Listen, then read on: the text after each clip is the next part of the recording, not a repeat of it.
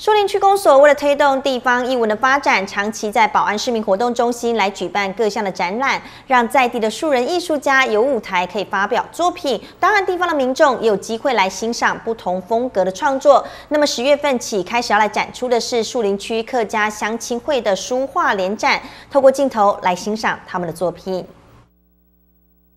树林区公所十月份举办采风人生树林区客家乡亲会书画联展，区长吴建新肯定乡亲会用心办理课程，鼓励学员们学习书法以及书画，三年多来已经有了很好的成果。我想大家会很讶异哈，今天我们参展的是我们客家乡亲会的会员联展，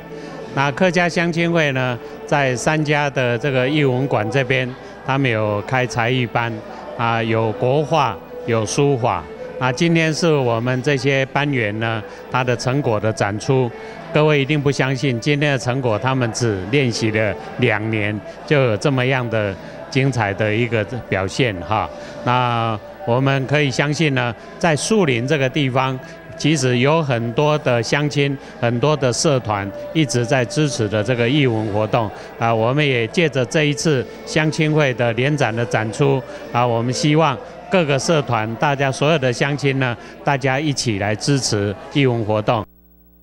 开幕茶会上，授课老师与学员分享心得，学员们对于自己的作品能够有机会展出，觉得很有成就感。本来拢未晓啦，啊，都等到一个机缘吼，啊，有一个师姐介绍我来参加这个黄老师吼，伊咧去教图画啦，啊，我想讲有这机会吼，我就来学。采风人生书画展等于是客家乡亲会书画班的成果发表，学员们从一张白纸开始学习，短短时间就能够自在写意的挥洒。尽管作品不像指导老师那样的纯熟，却也试图表现内心的想法，实属可贵。